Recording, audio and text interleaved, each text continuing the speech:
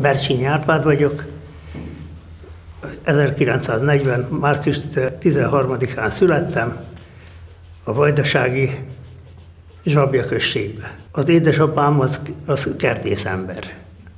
Tehát az fölbérlő is volt, de kertészettel foglalkozott jobban. Mi gyerekek nagyon hazaszeretetre voltunk nevelve.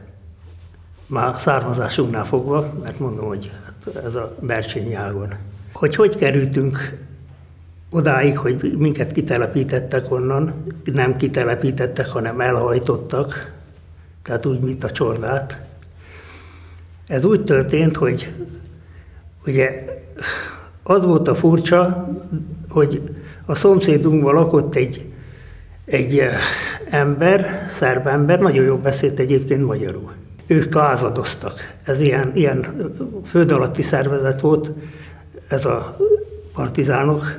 Ezek magyarok is voltak benne, áruló magyarok, de spicik, kommunisták, minden volt benne. Tehát a partizánok csak kommunista lehetett. Azok ottan provokálták az embereket, annyira, hogy hát meg kellett őket piszkálni, akkor onnan kihozták a halasi határőrséget, és átvisíték az egész területet.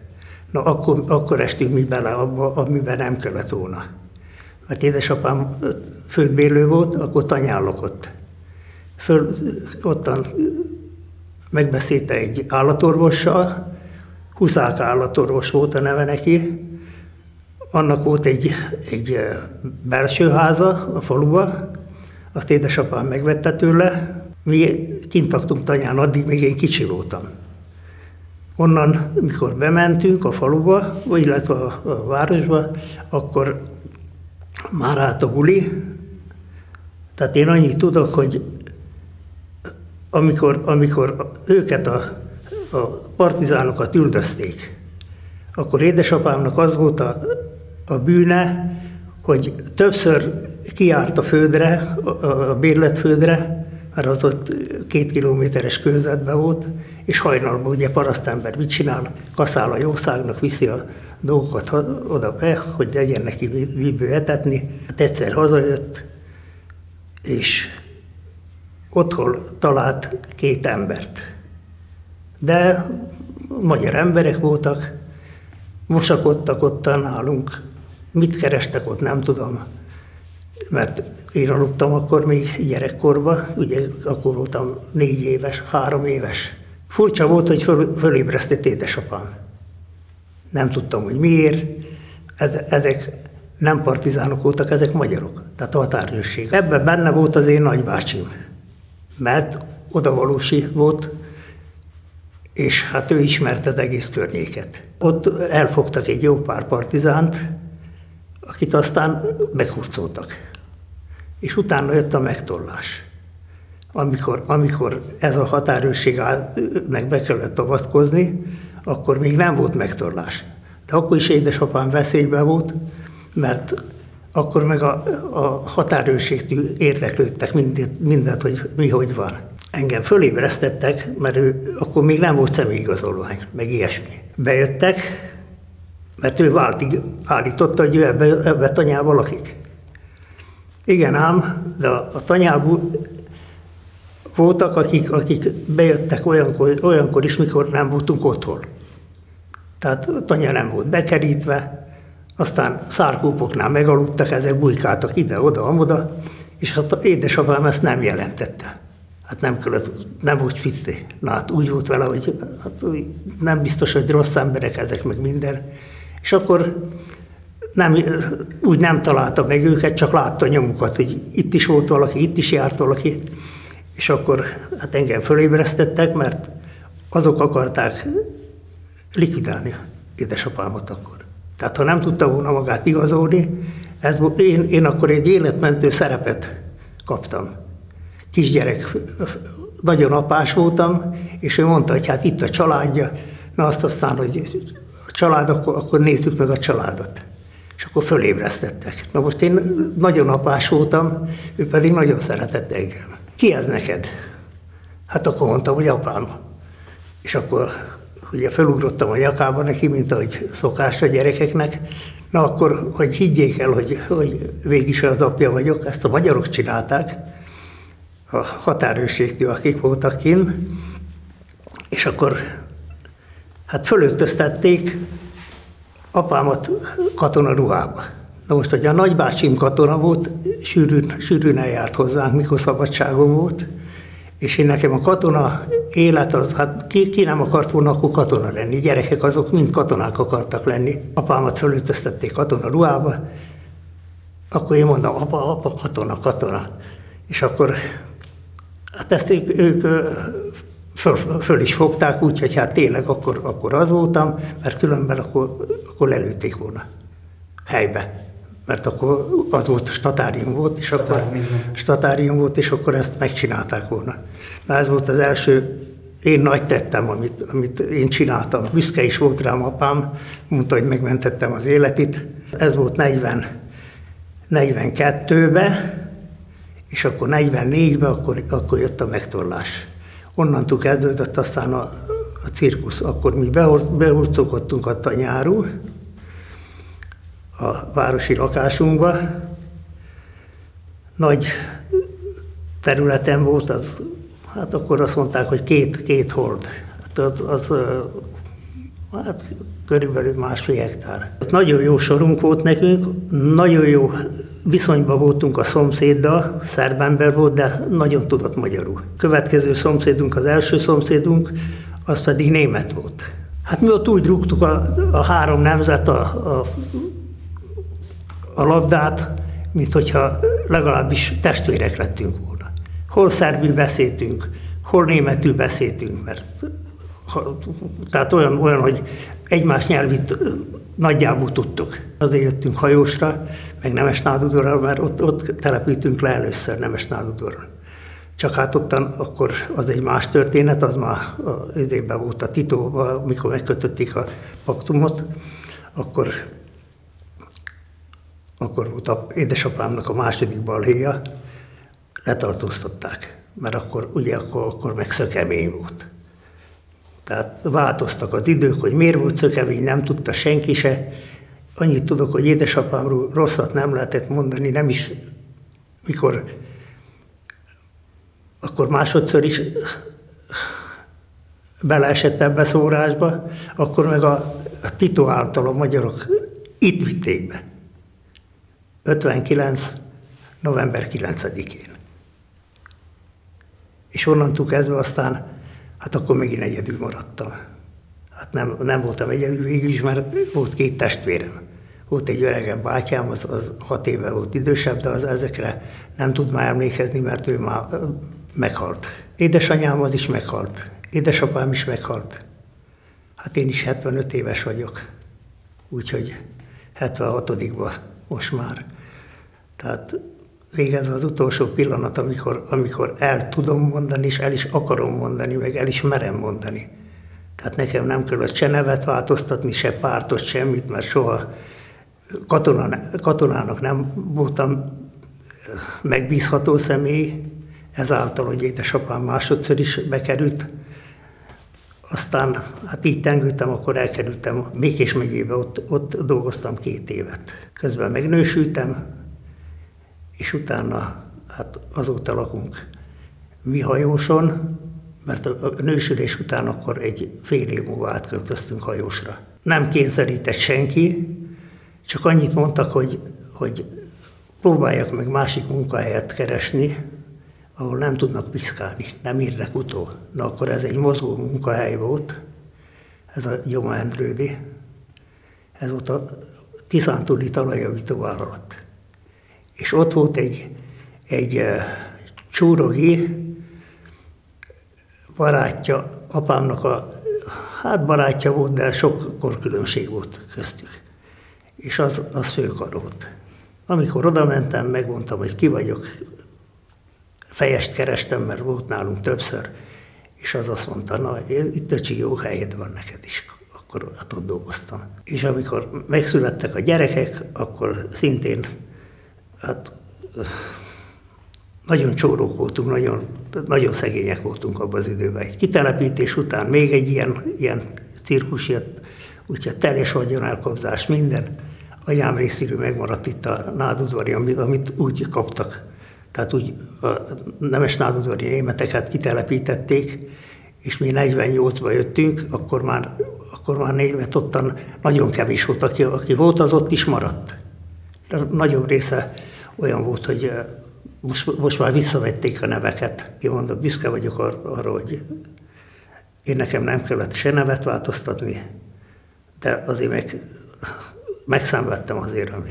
Ez amikor minket onnan elhajtottak, az úgy történt, hogy mint derültékű a villámcsapás. Nagyon jó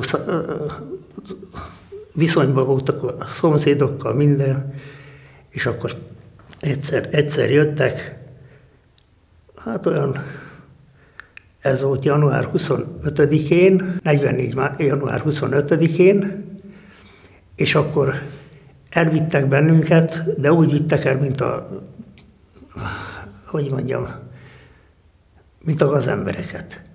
Kisgyerektől kezdve ott minden volt. Tehát az, hogy, az, hogy a emberek mentek együtt először, akkor az embereket behajtották a, a hogy hívják be, ott volt egy Uzélac nevezetű kocsma, hát úgy mondták Uzélac, az volt a neve a tulajdonosnak, minket pedig be, bevittek a moziba. Addig ott voltunk, ameddig ki nem viratt. Onnan aztán kizavartak bennünket, de addig, addig ezt belelőttek a tömegbe. Ugye, hát nem hasonló korú volt, mint én, mert az lehetett az én számításom, vagy nézetem szerint, vagy emlékezetem szerint, az lehetett olyan, olyan kilenc éves gyerek. Nyakába egy géppisztoly, és akkor egy rövid sorozatot leadott ott. Hát én azért nem, nem kerültem bele, de ott sok, sok ember elpusztult, tehát asszony elpusztult, mert csak asszonyok voltak, meg a gyerekek, mert nem, nem álltam a, a sugárba benne. Mellettem lévő 16-an ott mindjárt helyszínen kifeküdtek. Ott volt olyan sírás, rívás, na akkor kihajtottak bennünket kívülre, akkor vártuk a, a kocsikat, amik majd elszállítanak bennünket, de aztán a gyerekeket földobálták a kocsira, úgy, mint a, hát, a kisebb pólyásokat, azokat az anyja vitte, de az anyja nem ülhetett fel a kocsira, csak a gyerek. Úgy képzeljék el, hogy a húgom, húgom kiesett a, az anyám kezéből, leesett a földre, anyám megcsúszott vele, és amikor föl akart kelni, akkor két odavalósi ember, akit jó ismertünk is, fölrángatta, és azok lehet, hogy azt hitték, hogy nem ismeri őket édesanyám, mert ugye hát mi tanyáról mentünk be akkor két-három éve, tehát is, ismerhették, mert sok árut el kellett adni, amit, amit édesapám termelt, ugye. Mondom, kertész ember volt, akkor az, az mindent meg hát telnek is voltak, meg, meg minden tejet adott, tojást, mindent a, a tanyáról. Úgyhogy hát közismert volt az ő is, de úgy csináltak vele, mintha egy, egy, egy betörő volna, vagy egy... Úgyhogy akkor, hogy a kislány ne sírjon, mert volt egy, volt egy kislány, aki kiesett a pólyából. Az, ahogy kiesett, az édesanyja az, az lehajult érte, azt vagy elgáncsolták, vagy valami annyira voltam, mint ide az a szék hozzá. Aztán hát az olyan, olyan fölkapták azt a gyereket, hogy ne, ne kiabáljon, akkor odavágta a kocsikerékhöz, parasztkocsi kerekéhez, mert olyan, olyan kocsika vitték a gyerekeket, és földobták. Úgy földobták, mint egy macskát, egy döglött macskát. És akkor én attól féltem, hogy a húgomat is, akkor én is elkezdtem ottan hát, sírni, mint a gyerekek. Mikor édesanyám elesett a húgommal, az meg majdnem megfújtotta, hogy ne, ne tudjon kiabálni, befogta neki a száját. És hát nem tudom, milyen anyag volt, csak elég az hozzá, hogy, hogy el volt kékülve. És akkor hát édesanyám azért csak vigyázott rá, és akkor betették a kocsiba, kocsiderékba, és az asszonyoknak úgy kellett menni utána. Engem anyám vezetett, meg a bátyám, mert a bátyám az már akkor 12 éves volt, és úgy gyalogoltunk egészen Újvidékig. És közben megálltak, hát értek mindent, mindent, most is szerbű. Hoztam a szótárt ellenőrizni lehet. Tehát megálltam is, megálltunk, és nem tudtam, hogy miről van szó, csak azt, hogy itt, itt álljunk, a partizán mondta egyik a másiknak, hogy itt, itt kell megállni, mert itt, itt, itt van a, itt nem hozza ki víz, víz a halottat. Tehát itt, itt kell megállni, és akkor hát belelövik őket a, a Tiszába. Akkor nagy, nagy rimánkodás volt, tehát ugye, ilyet, ilyet mikor hallani lehet. Én meg a gyerekfejje ottan néztem. Hát gondoltam én, hogy hát engem hiába tesznek bele Tiszába, azt, az, az nem ment ki a, fejemből sose, hogy én hát úszni nagyon jó tudok, mondom, akkor, akkor én kiúszok legfőbb. Édesanyám az is jól tudott úszni. Bátyám is, hát mondom, akkor mi kiúszunk. Az, hogy hideg volt a víz, azt én nem mértem fel akkor, mert gyerek voltam még. Én ebben elintéztem az egészet. Utána elmentünk olyan helyre, Járekra, az egy kimondott a haláltábornak volt nyilvánítva, úgy is, úgy is ír róluk, a, a könyv is, meg minden, úgy emlegetik. Ezt az ottani németeket bekerítették, kétsorosan dróttal, belevezették az áramot, nagy gazdák voltak azok. Járek az, az, egy, az egy gazdag német község volt. Négyezer lakossal. És a négyezer lakos az eh, addig nem kaptak enni meg inni se, ameddig a kutakat, kutakat befötték, tehát nem mérgezték meg egyelőre, az csak később volt. A helyi kriptákba, gazdag emberek kriptája volt, oda dúdosták be a halottakat. Tehát azok ott éhen, szomjan elpusztultak, az ottani németek. És azoknak a helyére, amikor eltakarították, akkor vittek minket. Olyan helység volt, ilyen hosszú parasztházak, mint az enyém is, Marika, te tudod milyen, tehát hosszú épület. Ugyanilyen típusok voltak, mint az, az itteni parasztházak, és annak első szoba, konyha, hátsó szoba, megint konyha, tehát így egyben nyílott, mint hogy egy köröztül mennénk végig ezen a termen, és három, négy, négy termen köröztül. Három, három szoba volt, és oda bealjaztak, úgy szalmát vittek be, mint a teheneknek. Le, le volt terítve a, a szalma, és akkor ott aludtunk. Hogy ki mivel takaródott, az az ő, ő volt. Hát úgy, úgy volt, hogy ruhába aludtunk. De tetvekatok voltak, mert már előttünk is volt egy transport, akit, akit elvittek oda. Csak azokat elvitték tovább. Ott voltunk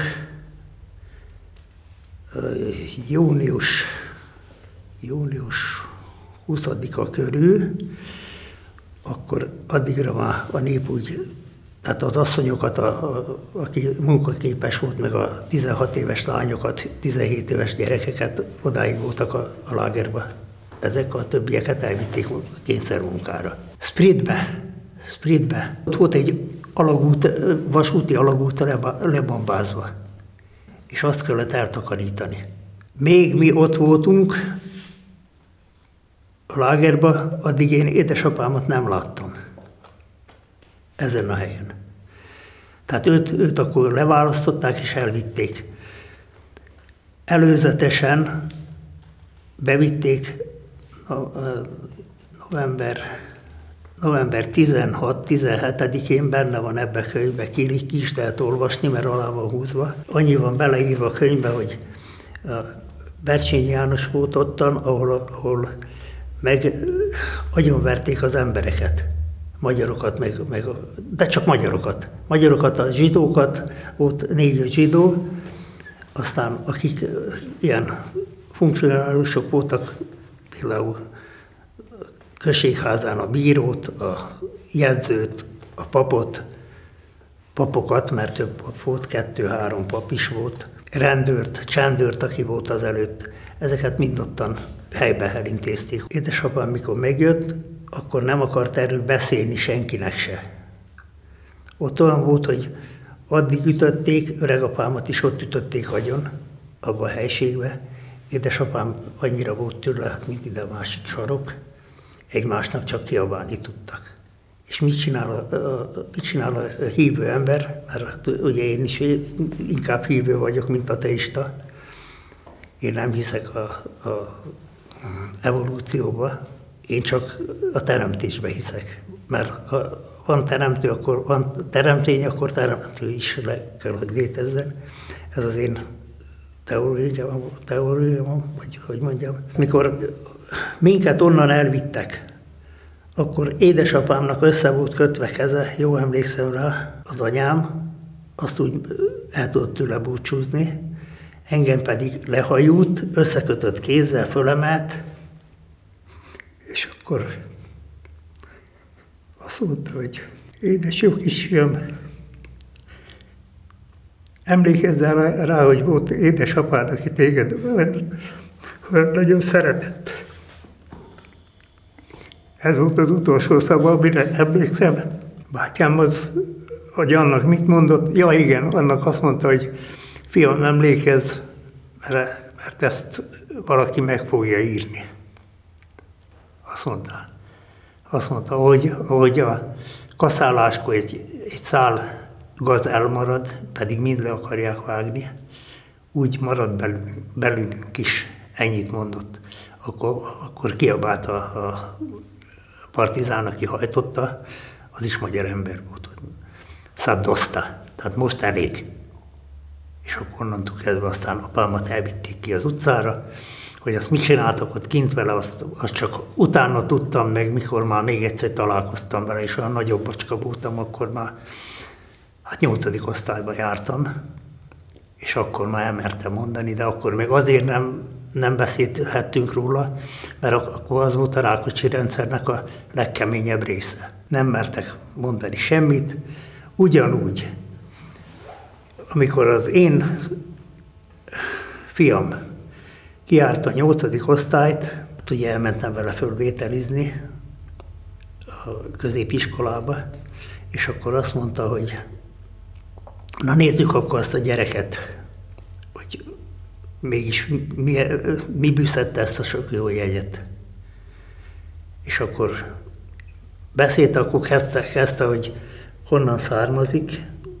Hát akkor gondoltam, itt nem lehet hazudni, nem akartam mondani. Lesz, ami lesz, ezt, hát mondom, mert az volt, hogy akinek az édesapja, vagy, az, vagy a nagyapja veterán ember volt, veterán kommunista, vagy mit tudom én, micsoda, azok, azoknak nem kellett olyan, nagyon nem forszírozták ezt, ezt hogy fölvegyék, vagy ne vegyék föl. És akkor azt mondta, na jó, akkor ezt a robotot kihagyjuk. És úgy került oda, és még neki sem mertem elmondani addig, amíg nem jött a, a amikor Gödörlőre ment a, ébe a mezőgazdasági szakmérnöki iskolára, tehát az egyetem volt, Igen. Gödörlőri Egyetemre, akkor kaptunk előtte egy, egy levelet, hát ugye mi címünkre jött, mert ott lakott a gyerek is, hogy akinek szintén a szülei ilyenek voltak, annak nem kellett fölvételi vizsgát csinálni egyáltalán. Tehát a sok rossz, ami megtörtént velem is, nem akarták, hogy, hogy legyen belőlem valami. Aztán mindig, mindig akadt olyan jó ember, aki, aki szárnya alá vett. És gondoskodott arról, hogy például amikor, amikor megmondták, hogy, hogy menjek el, gépállomáson dolgoztam, akkor inas voltam, de azt mondták, hogy menjek el, menjek el mozgó munkahelyre valahova. És azért kerültem el jomára. Nagyon meg kellett kapaszkodni mindenbe, hogy, hogy a gyerekeket tanítatni tud, tudjam. Hát a lányom az is, az is egészségügyi szak, szakiskolába járt Kalocsára, de aztán ottan beleszólt a szerelem, úgyhogy nem tudta végigvinni. Mert ugye ilyen kamaszányok azok általában csibészek is lesznek, előbb-utóbb kipróbálnak mindent, aztán nem volt oroszlán, csak benne volt a galeriba állandóan, 44. január 25-én. Akkor hajtottak el bennünket, de úgy, mint, egy, mint, mint az állatokat.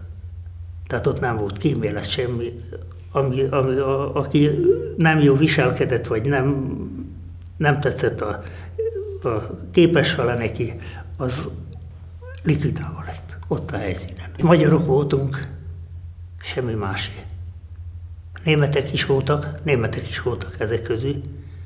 Nagyon sok német volt. Fele, fele ez, fele, fele magyar, fele német.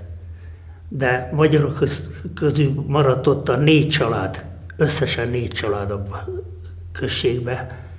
De hát azok Hát azok olyan besúgók voltak. Mentették a bőrüket, és akkor találtak mindig maguk helyett másikat.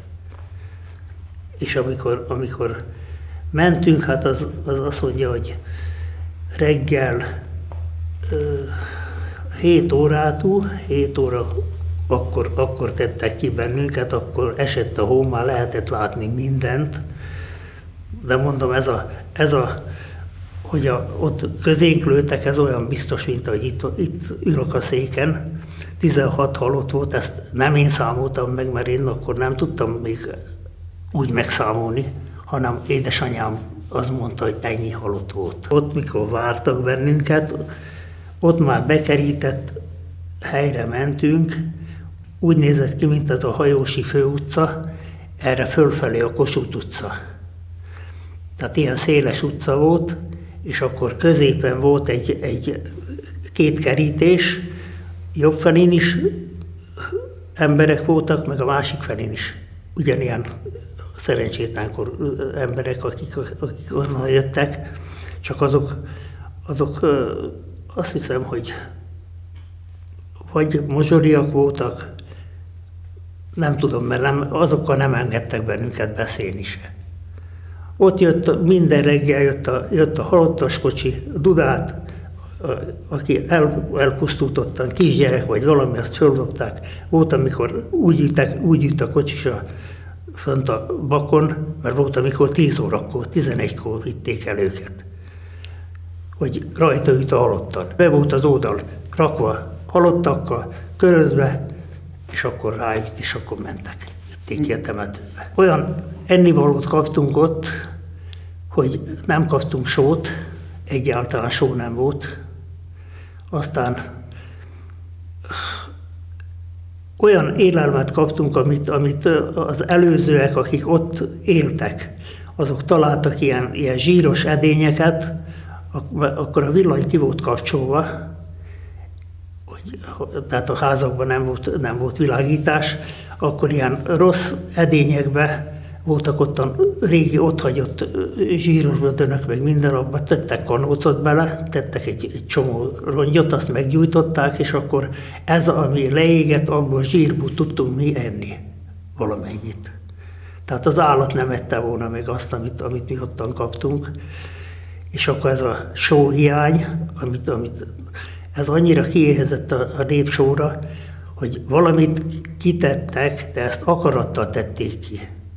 Ez olyan volt, mint a, mint a műtrágya, de tehát olyan, olyan halmazállapotú volt, mint a, mint a finom műtrágya, tehát olyan lisztes.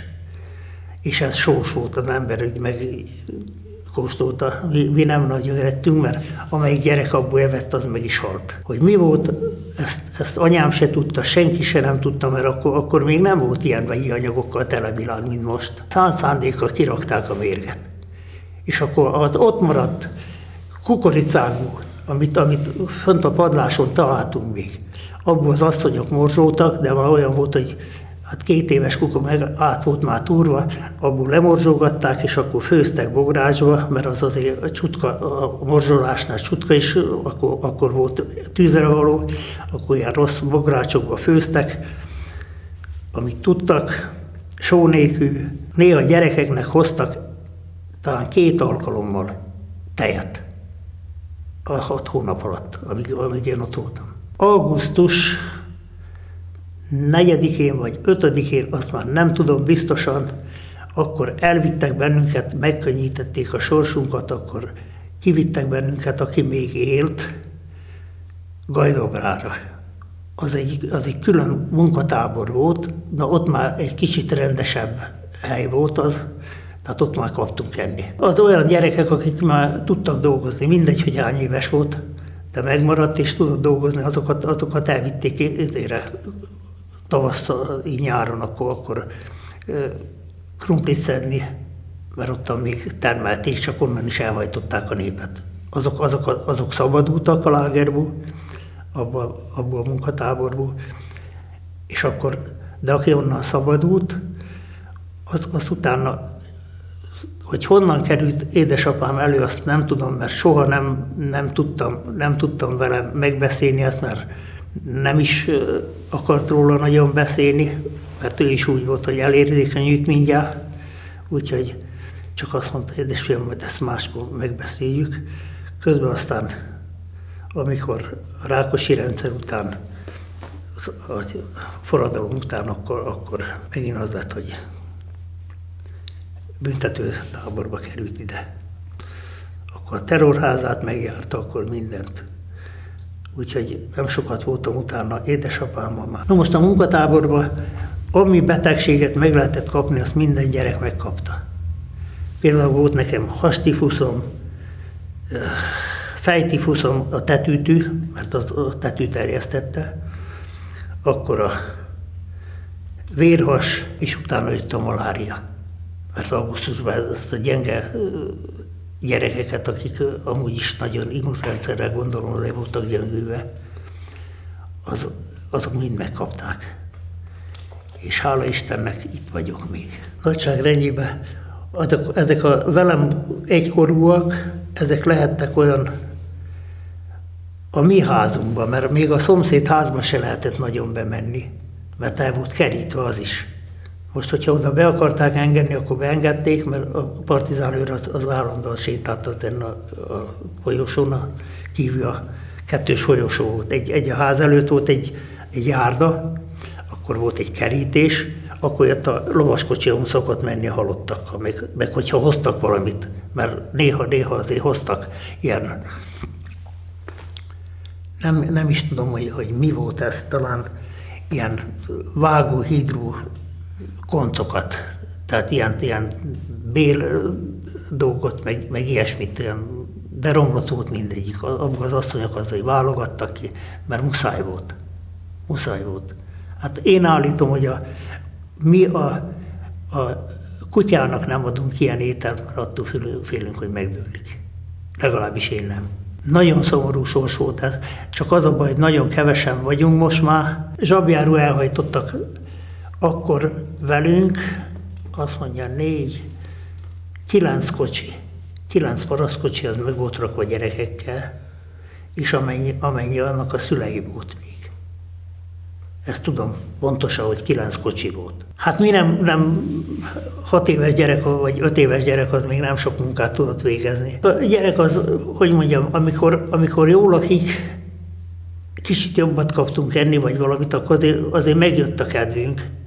Kaptam is érte, bár annyit, amennyi, amennyi sző ki tudtam, kiejtettem, hogy magyar.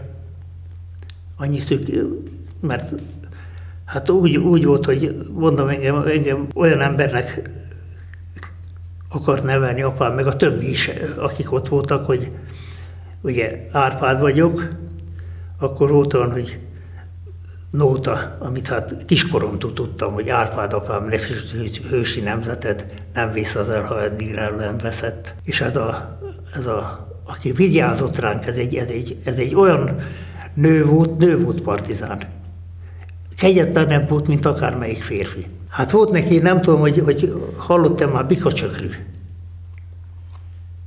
Tehát ez egy, ez egy kidolgozott bikának a nemi szerve, ki volt vágva, be volt csózva, fő, ki volt dolgozva, de ez olyan volt, hogy, hogy hát ha ebben végigvertek valakin, akkor ott a bőr ment. És ez volt olyan 100, 120 centis, 130 centis hosszú, és a vége olyan, mint a dostor olyan, olyan volt, a vége neki az hajlott.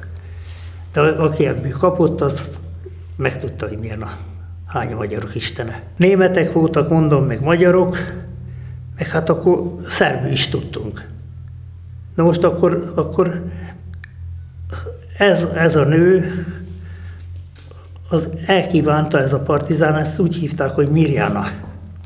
Mirjana, föl lehet írni a nevét neki, mert ez egy nagyon gonosz teremtést volt. Olyan volt, hogy, hogy mikor ennek menetőtünk ottan, mint a nagy katonák, és akkor hát mondjak neki verset.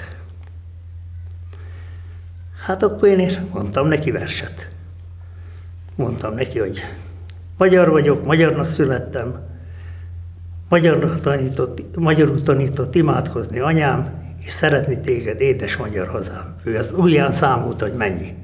És utána fogta a kezemet, megfogta, rácsavart egy madzagot, oda kötötte az oszlophoz, és akkor nem tudtam onnan elvenni a kezem.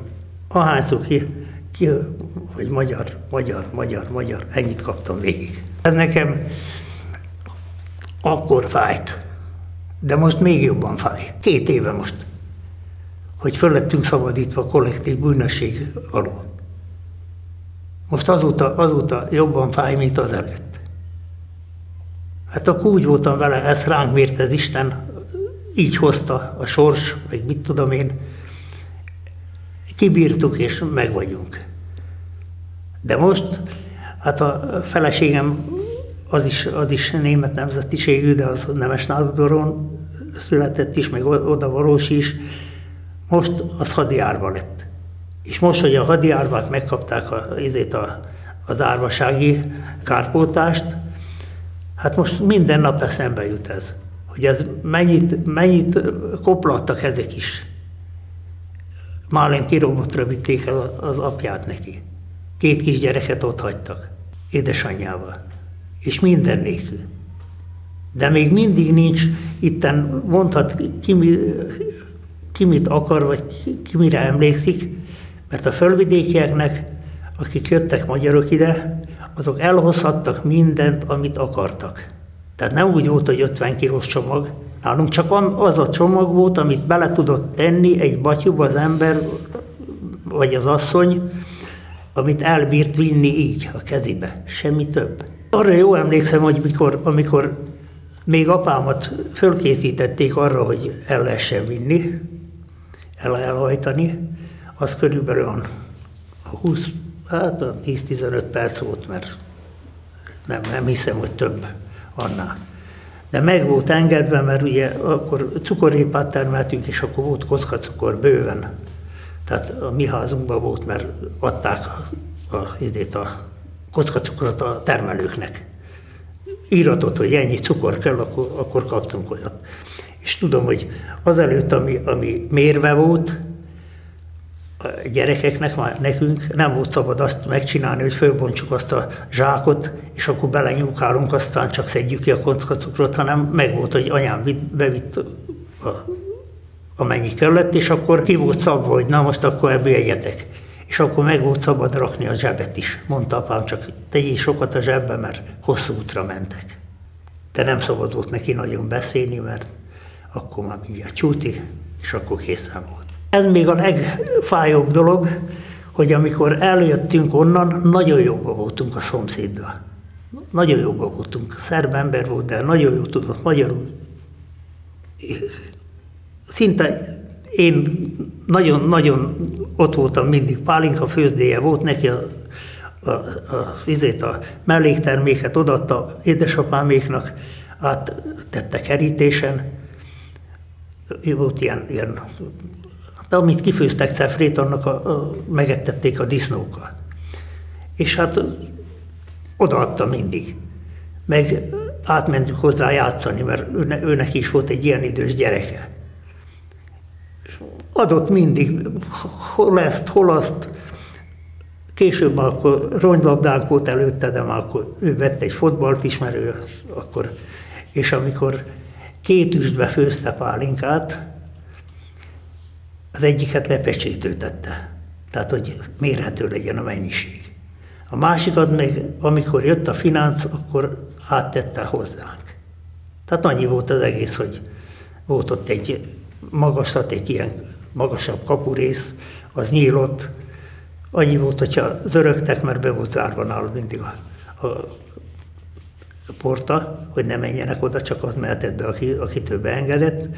És akkor ottan, hát gondolom, akkor fe, feketízve főzte pálinkát. Most én csak tudom, hogy jött a bogrács, hát akkor mondtam apámnak, hogy már megint itt van a bogrács, akkor beleütem abba a bográcsba, sokszor össze is kormoztam magam, mert jó lehetett vele hintázni. Tehát a ilyen volt, és akkor bele. Hát ez négy éves gyereknek ez ezért volt ketten az ő fiával, és akkor hajtottuk egyik a másikat. Nagyon jó viszonyban voltunk, és az is azt mondta akkor, mikor jöttünk, hogy János, jazam kázaletebe. Tehát, hogy én ezt mondtam neked, hogy menekülj. Tehát édesapám tudta, hogy minket el fognak hajtani, vagy elvisznek, vagy megtorolnak, előtte szót is. De édesapám azt mondta, ő nem érzi magát bűnösnek, mert nincs bűne. Úgy, néz, úgy nézett ki, egy megbecsült ember volt,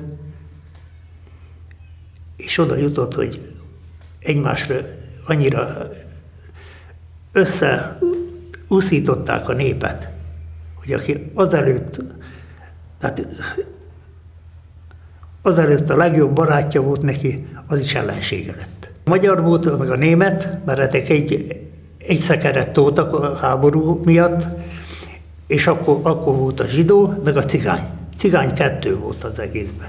De becsületes cigányok voltak, nem úgy, mint itten, mert itten most már van olyan, aki adé hagy maga után mondani valót. A lakás az, az maradt az államnak, tehát a szerb államnak, de nem volt róla végzés. Tehát olyan nem volt, hogy, hogy írás róla. No, hogy utána aztán mi kikértük az adatokat, kaptunk is valamennyi kártalanítást, de megígérték, és nem lett belőle semmi, talán egy-két százalék. Az egyik része nádas volt a háznak, a hátsó része, mert az elejét egy kicsit ki lett akkor javítva, mivel hogy állatorvosé volt a ház, hát a hátsó az, az lakatlan volt. Ott gabonát tároltunk, meg, meg jószágok voltak berakva. Bemenni nem mehettünk be, mert még az unoka test hugomnak a férje, hát az, az Karvas Sándor, de azért nem akarom őket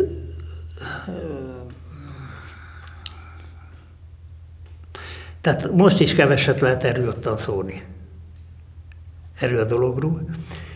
És az ő kocsiukkal mentünk, mert a magyar rendszámú kocsit nem tűrték volna meg. Magyar nincsen, csak kettő volt állítólag az egész környéken, azt nem tudtuk főkeresni.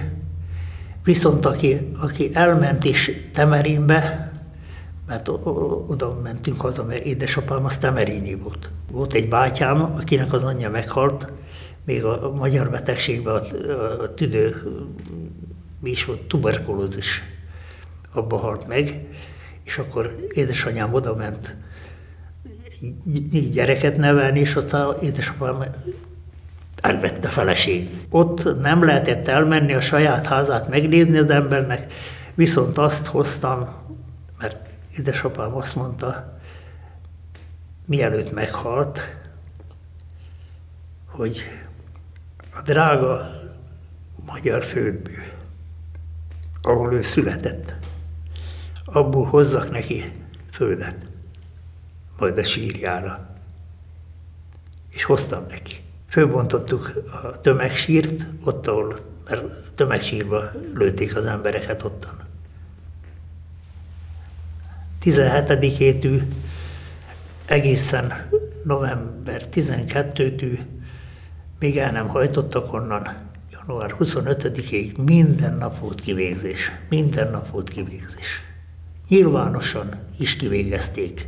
Aztán úgy is, hogy hát a, a édesapám az akkor mesélt el, mikor már lehetett. Az Matuska Márton meg is írja, hogy a 17-én akkor jött a édesapám haza, mert nem találtak nála semmi bűnt. Hány szervet jelentetted, semmi mást, csak ezt, hogy hányat vitettél el, hányat, hányat ütöttél agyon, hányat segítettél rá a, a kimulásához.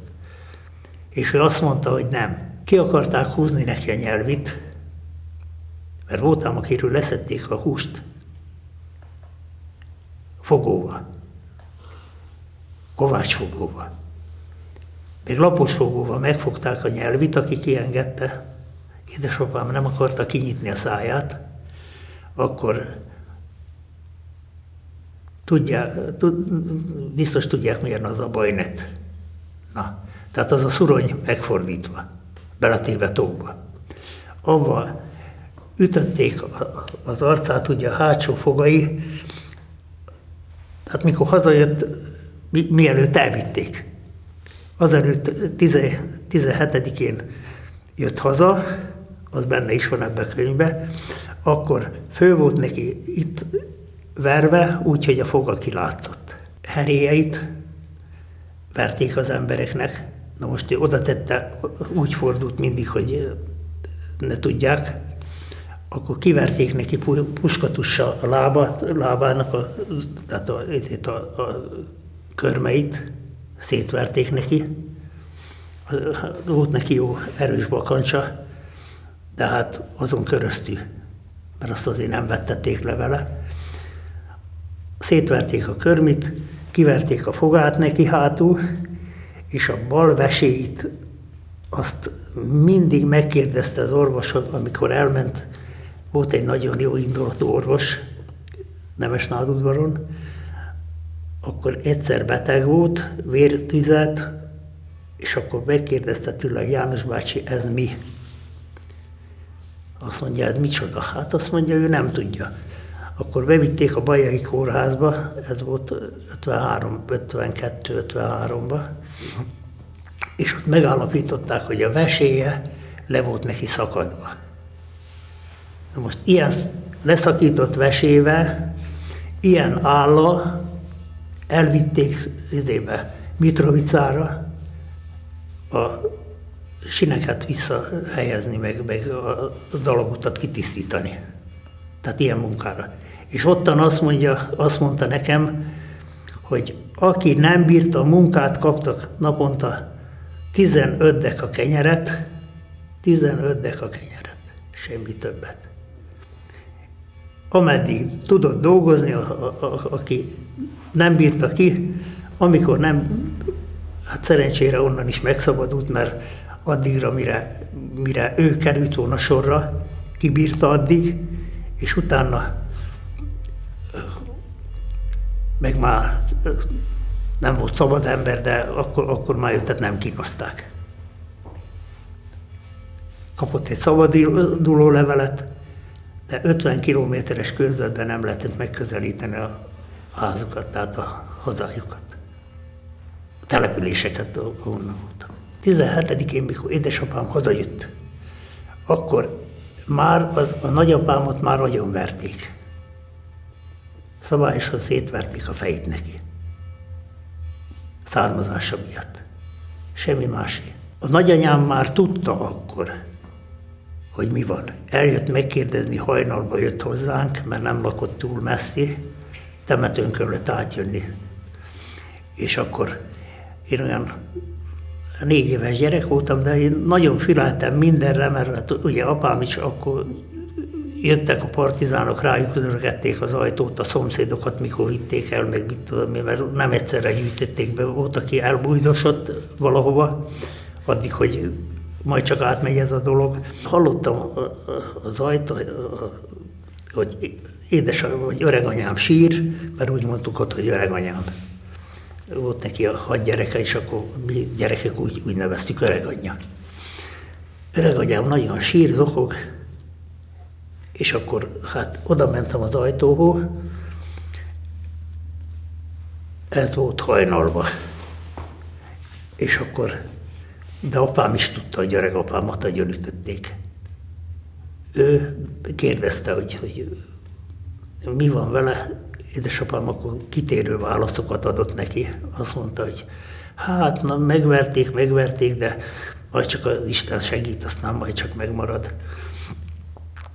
És akkor ő mondta neki, hogy nekem nem mondjad, én tudom, hogy, tudom, hogy agyon verték, mert mondta, hogy az Ivo, tehát a, a szomszéd, a, az, aki akkor hazament, az átkiabált neki, hogy, hogy a szintén Jánosnak hívták az apámat is, meg a másikat is, hogy a, a János bácsit elküldték a Hitlernek. Ez mindent megmondott, és akkor édesapám mondta neki, hogy nem, nem, majd jobbra fordul, meg minden, azt mondta, ő neki, ő neki nincs, ő most megy haza, már akkor már a gyerekei nem voltak meg, tehát mind kiröpültek a házból, egy lánya volt neki, és mondta, hogy az etust, mert az 18 éves volt, akkor egyébként benne van ebbe a könyvben pontosan, hogy hány éves volt, csak azt mondta, hogy ő neki már nincs, nincsen semmi reménye. Őtet meggyalázták a lányával együtt. Én nem tudtam, hogy mit jelent ez, hogy meggyalázzák. Hát ilyen fiatal kölkökkel megerőszakoltatták szerb kölkökkel tehát ilyen, ilyen 17-16-18 évesekkel. Őtet is, meg az lányát is egymás mellett. Ezt elmeséltem a, az unokatestvéremnek, mondtam neki most, mondom, tudod-e, hogy anyád miért lett? Mert nem tudta földolgozni ezt a dolgot. Tehát ők, ők öreg anyámmal nem veszekedtek ezen, de ha fölhozták, akkor ott mindig, mindig a szomorúság volt utána, ugye, mert ez, és titkolták.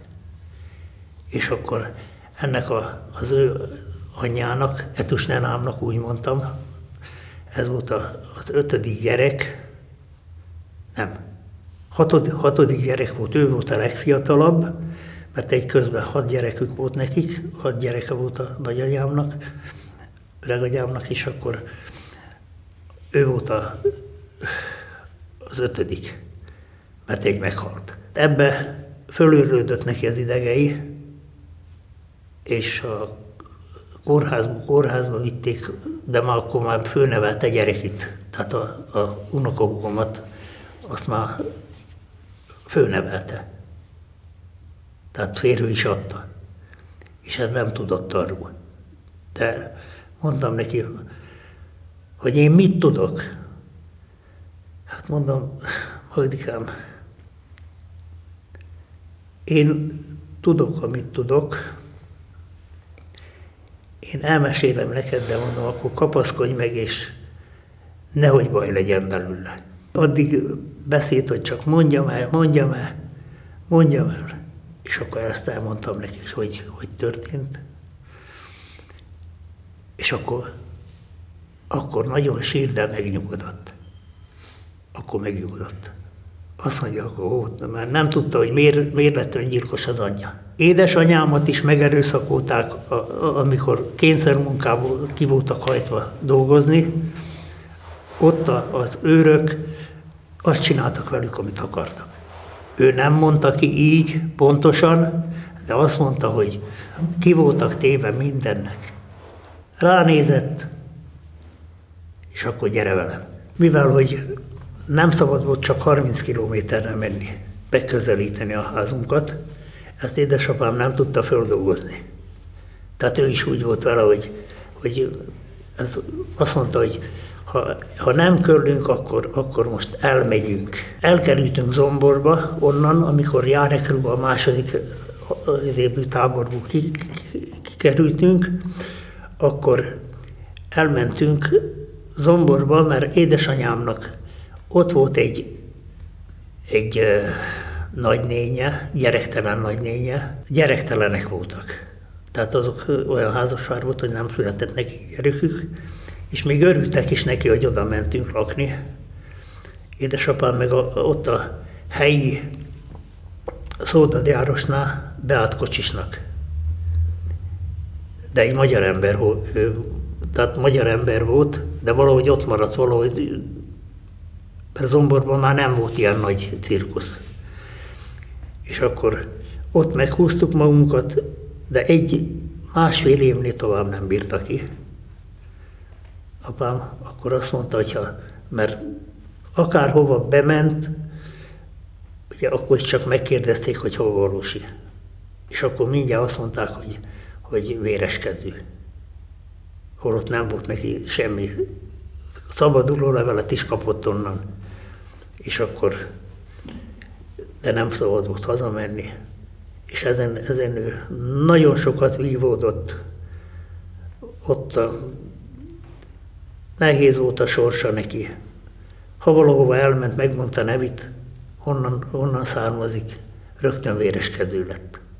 Holott nem bántott senkit. Zomborból eljöttünk Hercegszántól.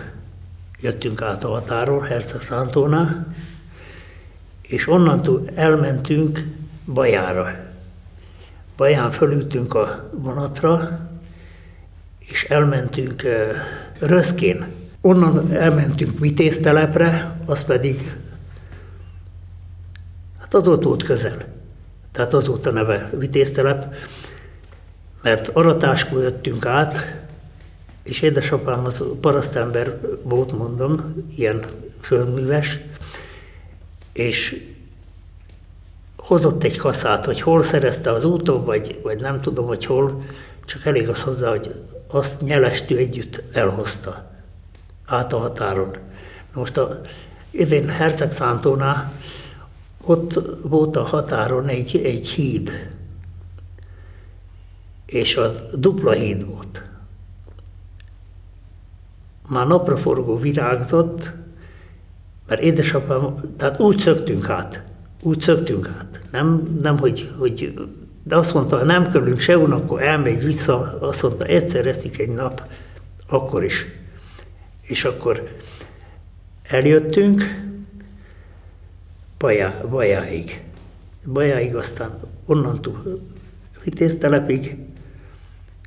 Ott aztán megint vonatra ültünk, és visszajöttünk Baján keresztül Nemes Nádudvarra, mert itt már akkor kettő, kettő ö, magyar ember, meg kettő német ember átjött, de a németek, németek ezek, ezek magyarosítva voltak, tehát nem, nem lehetett tudni, hogy ezek, ezek micsodák, de már meghaltak. Ezek ottan, de akkor már nem volt ki, tehát akkor a nádudvar már régen ki lett telepítve. Tehát úgy, hogy mi, mi olyanok voltunk, hogy ezek, akik, akik onnan kiérték a házakat, meg minden, mert megkapták a házat úgy, ahogy, ahogy a, a, telepesek. a telepesek, Kiérték a házat, és akkor hát ott volt egy üres épület, azt mondta akkor a, tudom, még egy bánrévű, nevezet, bánrévű nevezetű felügyelő volt a házfelügyelő, tehát úgy mondták, hogy felügyelő, oda be kellett menni, és akkor az ilyen szökevényeknek adott helyet, ilyen helyen, ami kiürült már. Úgyhogy ott, ott sem volt szerencséje, de viszont az a jó tulajdonsága meg volt édesapámnak, hogy nagyon nagyon dolgos ember volt, és rögtön egyik nap még jöttünk, másik nap már kaszát aratott valahol, mert aratáskor jöttünk át, napraforgó virágzáskor. Összeszedett annyit, hogy, hogy tudtunk, akkor is kukorica kenyérre éltünk, meg, meg minden, egy jó darabig, de aztán egy, hát mondom, hogy ő nagyon, nagyon, értett a földművelésről, amit aztán át is vettem én is. Én tíz évet éltem ottan. 48-tól 58-ig. Egy házat használtuk végig, és visszaadtuk a tulajdonosnak. Valamennyit kellett érte fizetni, mert, mert nálunk akkor ez úgy volt, amikor oda minket betelepítettek. Adtak házat, 20 éves kölcsönre adták.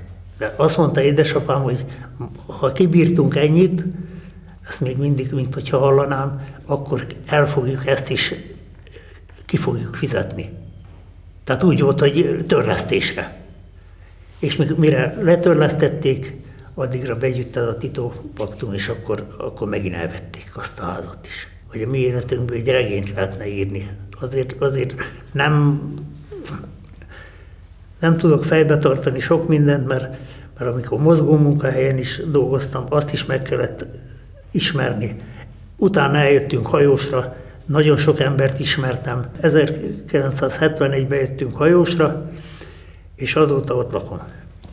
Vettünk egy házat, annyi sok jó ember volt, hogy szinte kínálták a pénzt.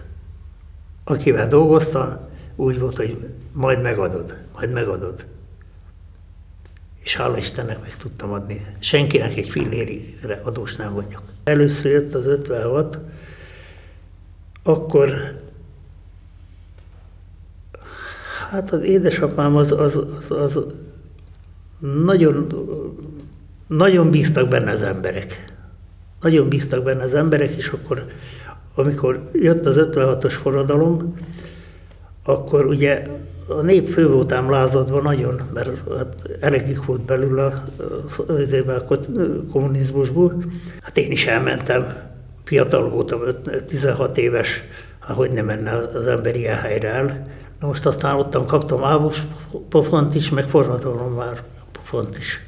Úgyhogy az egyik azért ilyen usánka sapkám volt, hát az azért ütötte le, mert, mert hát az minek a fejemen. A másik meg, hogy miért nincs, mint a kisnyúl. Azok nádudvariak voltak, akik eh, kiválasztottak egy-két olyan embert, aki valóban meg is érdemelte volna, hogy főkösség. Mert, mert azt csinálták, hogy, hogy csak akkor én megijedtem, mert elmentem haza, nem messze laktunk a, a piac szétű, mert ott volt a nagy gyűlés, és mondtam apámnak, hogy édesapám baj van. Azt mondja, micsoda? Mondom, jöjjenek, mert el, mert, mert, mert nagyon fő vannak dühösödve, és már hát ki is választották, hogy kit fognak felakasztani. És akkor mondtam nekik, hogy, hogy neki, hogy jöjjön el. És eljött, és akkor szólt nekik, hogy gyerekek, most vége ennek a dolognak.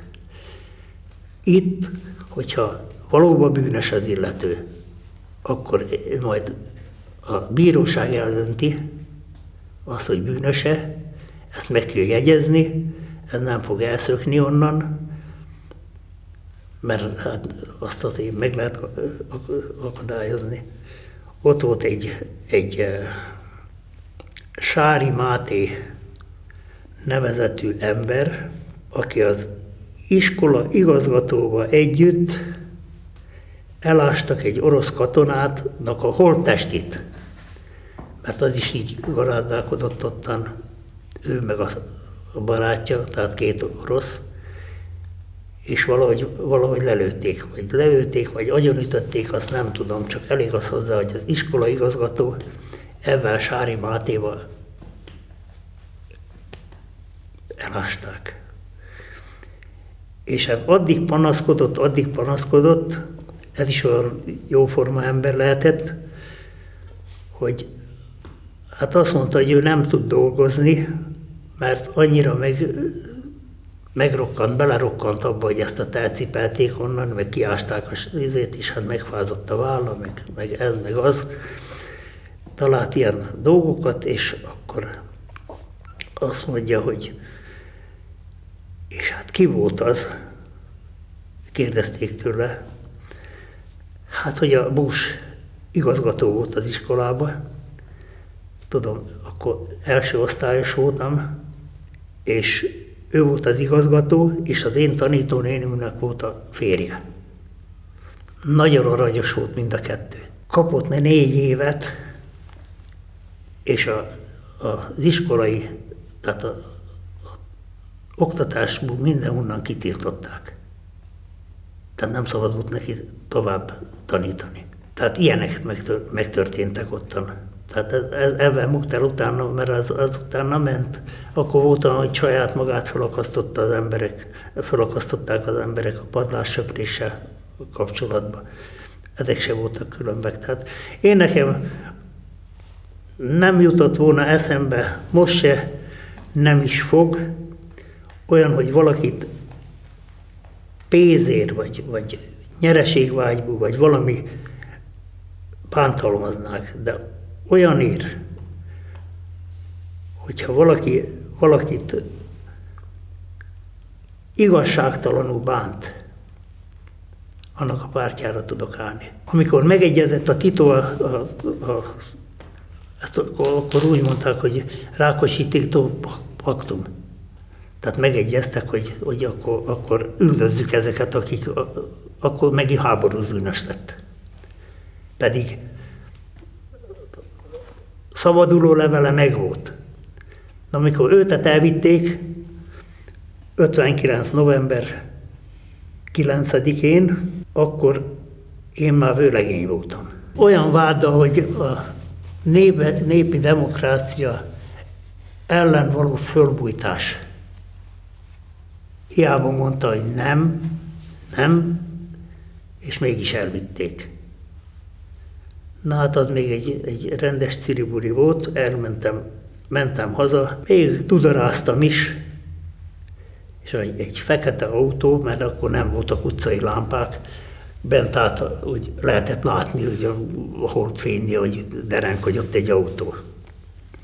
És amikor beértem, a, nyomom a kiskapukilincset, mert volt egy, egy kerítés darabot volt egy ilyen föllépő kapu, tehát mind a parasztházaknál, hogy előre be lehetett menni. Nem azt használtuk, hanem mellette volt egy deszkakapu. Nyomom a kilincset, hát nincsen bezárva, mert beletettem a kulcsot, volt külön kulcsom, nyomom a kilincset, és egyedül kinyílik a kapu, tehát valaki segít nyomni. És ahogy, ahogy beértem a házhoz, tehát a, beléptem az udvaron, állj kezeket föl, de már csavarja is hátra kezemet. És akkor még hát csúnyán, csúnyát beszéltem, mondom, hogy hova menjenek.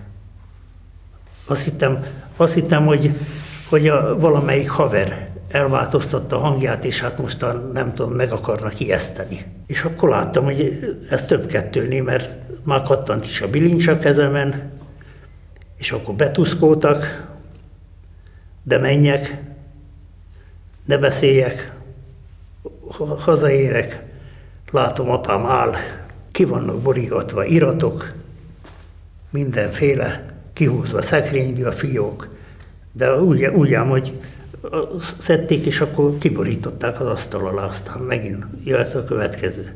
Mindent átkutattak, nem találtak semmi gyanúsat. Édesapám az meg, az meg mindig vitte magával a szabaduló levelit. Ő már akkor meg volt bilincsőve, azt, és mondta, hogy hát ő nem, nem bűnös. Úgyhogy anyám húzta föl neki a cipőjeit, kérdezte, hogy hát olyan keveredés volt, mert éppen akkor érkeztek ezek valahogy meg, mikor én hazamentem. És akkor azt mondja, na az ifjú urat, ezt meg majd addig lebiztosítsuk. És akkor volt ilyen, ez a parasztasztal, középen lábat rá lehetett tenni erre, volt ott egy keresztva, meg két kereszt volt a végén.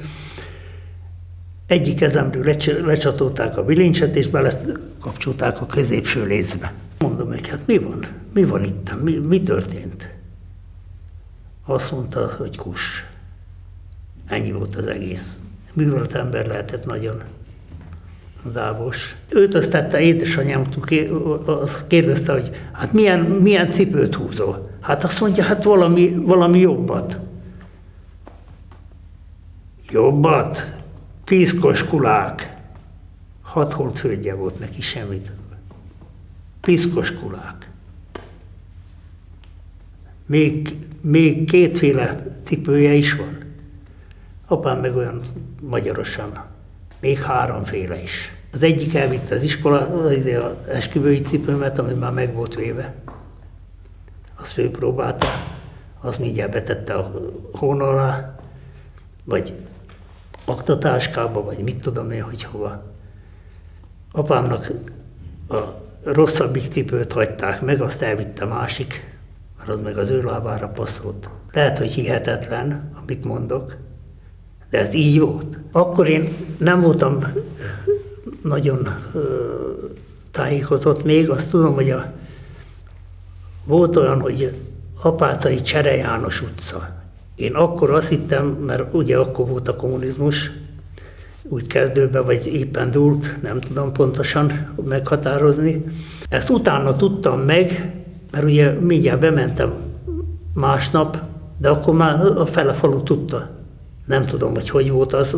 Éjjel elviszik az embert, és reggel, mikor megyek munkába, gépállomáson dolgoztam, akkor, és akkor már a haverom mellém állt, tényleg, hogy elvitték az éjjelapádat. Na mert, hát hova vitték? Hát de miért vitték el a János bácsit? Hát miért? Én se tudom. Az nem igaz, hogy nem tudod. Hát tudni kell.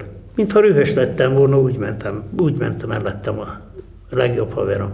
De nem, ő nem volt bűnös egyáltalán, csak hallotta, hogy ez van, és akkor, akkor, akkor biztos bűne van valakinek, hogyha ezt elvitték, akkor el van véve. Kapott 12 évet.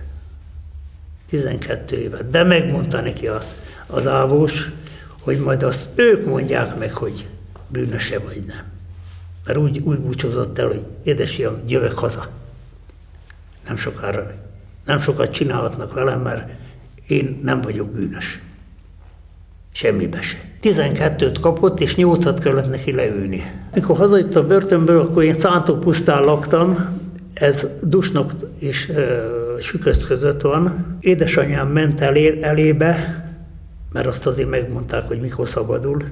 Írt egy levelet, meg hát kaptunk egy értesítést, hogy megy hazafelé, és az elhozta először hozzánk. Ott busz ment Pestű, és ott megállt. És onnan, mivel ott, ott laktam, ilyen brigád, régi brigádszállás volt, ott laktam a családommal, jó ment a sorom, mert mondom, az nem dicsekvésképpen mondom, de hogyha én valahova elmentem dolgozni, akkor én dolgoztam. A legjobb tudásom szerint meg minden. Úgyhogy tudtam, hogy van múltam, mert ezek után én is bűnös voltam. Ha tetszett, ha nem. Az a bizonyos szuperszónikus rendszer volt, tudja, hogy hogy van az. Egyiknek szuper, a másiknak szónikus. Ezt beleplantálták a fejembe, hogy ezt így kell csinálni. Pártba be akartak állítani, azt mondta a pártitkár, akivel én inaskodtam, és amikor, amikor, amikor ő, akkor nem pártitkár volt, hanem disztitkár. De akkor forradalomkor le volt állítva az üzem, a gazdaság, állami gazdaság, és a, a Gatter telepit azt meghagyták, tehát ilyen fűrész telepet, de nem az ő nevét viselte. Tehát, hogyha azt mondták, hogy Tribli Jóskát keresik, akkor olyan nevű itten nincs. Tehát ez meg volt mondva. Ezt a helyi nagyfőnökök mondták, ilyen ember nincsen. Na most ez az ember, ez olyan jó szívű volt hozzám, hogy azt mondta nekem, hogy te Árpi, te olyan hülye vagy, hogyha akkora lenni, amekkora hülye vagy, akkor fekve nyolnád a holdat. És mondom, miért? Azt mondja, belőled olyan ember csinálunk, vagy csinálok, hogy jobb sorod lesz, mint, mint a császárnak. Így mondta ő. És mondom, mit kéne ezért csinálni? Azt mondja, írsz apádról egy, apádnak egy levelet,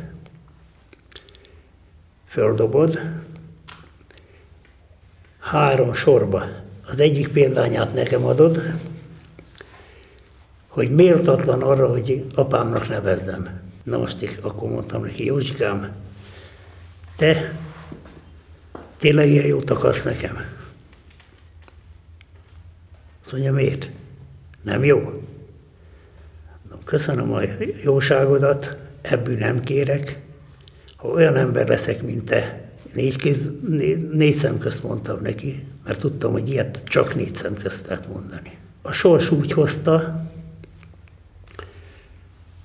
hogy én megértem a 75 évet, most már, már el is múltam, de ő 38 éves korában szépen meghalt, nem szépen, úgy húzta lábait, tehát bántotta őt tehát a, a viselkedése. De úgy halt meg, hogy, hogy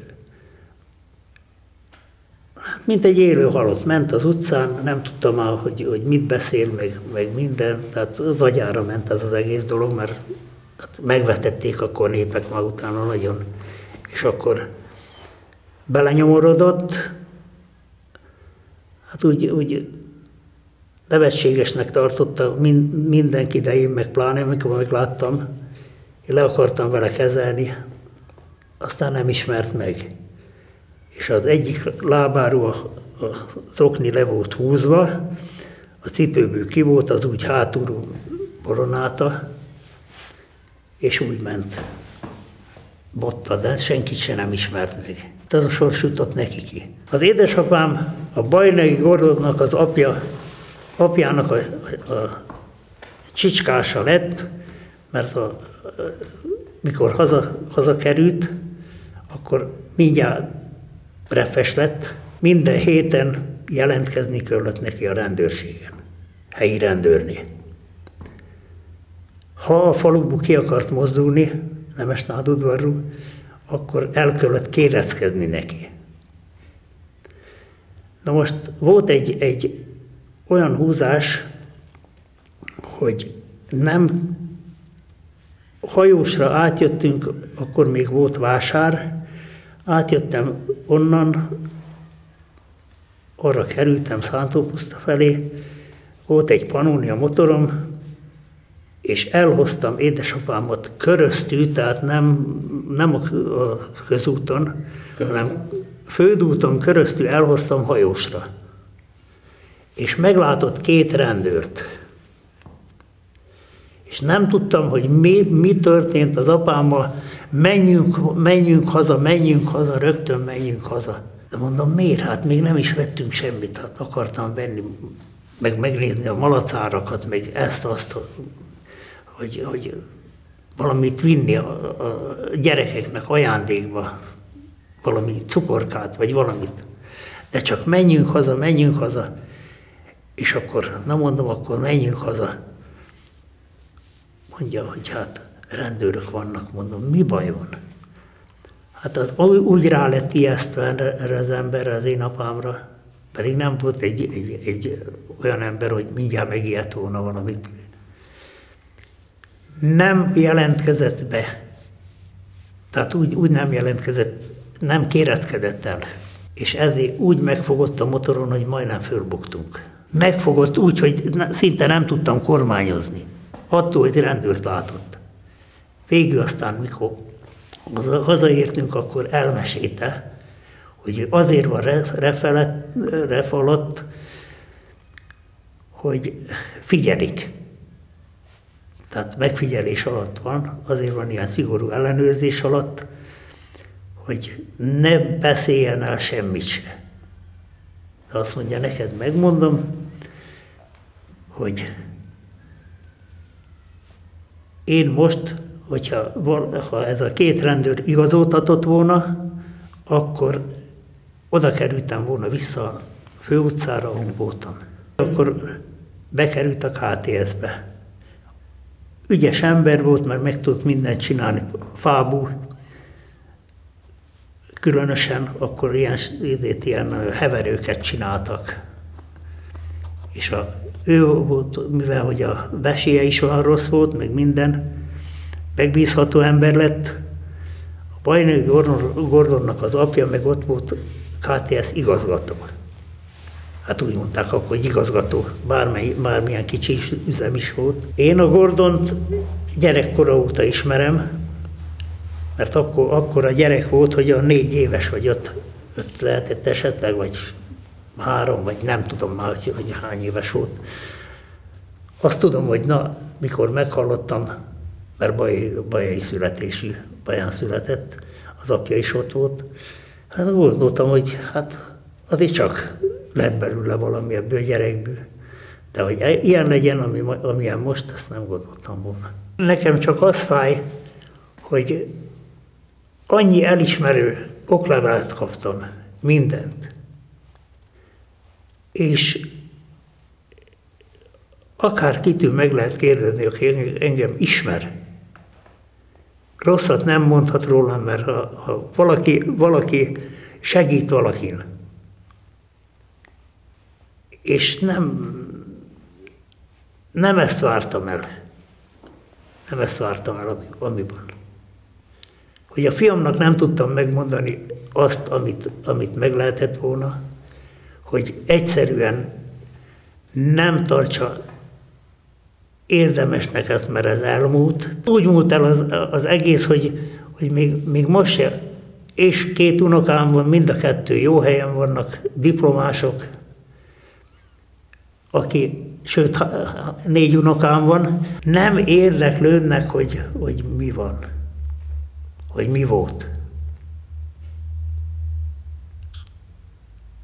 Hogy a, hogy a nagypapa hogy élt, vagy mit tudom én. Szóval még a fiam sem merte neki elmondani, mert annak is kiverték az összeset a fejéből, hogy elmondja. Az is még mindig félelem alatt él. Súlyának valamilyennek kell lenni. Mert hogyha valaki, a, ha valaki